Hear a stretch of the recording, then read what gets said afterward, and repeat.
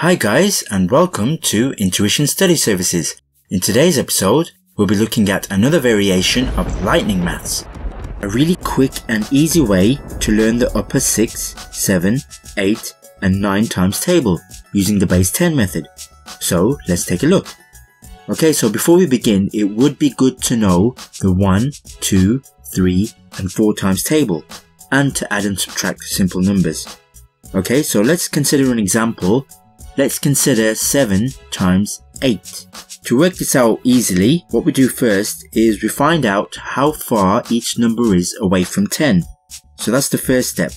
So we know that 7 is 3 away from 10 and 8 is 2 away from 10. These numbers 3 and 2 are known as the complements because 3 complements with 7 to make 10 and 2 complements with 8 to make 10. Okay, so the second step is we subtract diagonally. So we can either do 7 take away 2, which gives us 5, but also 8 take away 3 gives us 5. It doesn't matter which one we choose.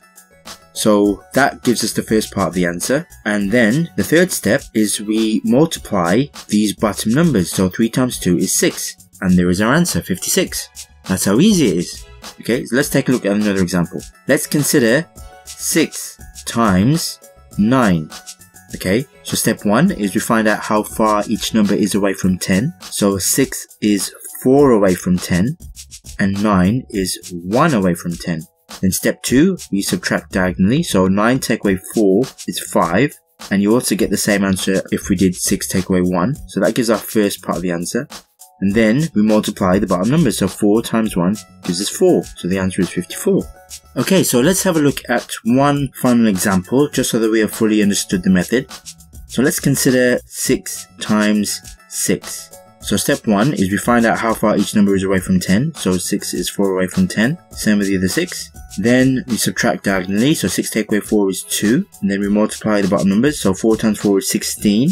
Now since we have a 2 digit number, that 1 gets carried and gets added to the 2. So the final answer is 36. Okay, so what I'll do is I'll leave you with these three questions for you to try. You can pause the video and I'll join you in a few moments. Okay, so let's see how well you did with these questions.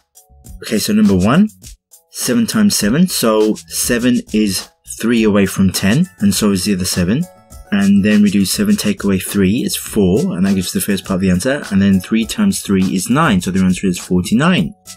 Number 2 8 times 6 so 8 is 2 away from 10 and 6 is 4 away from 10. Then we do 8 take away 4 which is 4 which is the same as 6 take away 2 that also gives us 4 and then we do 2 times 4 which is 8 so the answer is 48.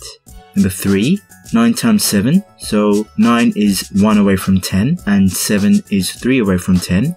So 7 take away 1 is 6, which we can also get by doing 9 take away 3. And then we do 1 times 3, which is 3. So the answer is 63. So if you do this a few times, you'll be able to do these multiples in a matter of seconds and it will become effortless. Let me know how well you did with this in the comments below.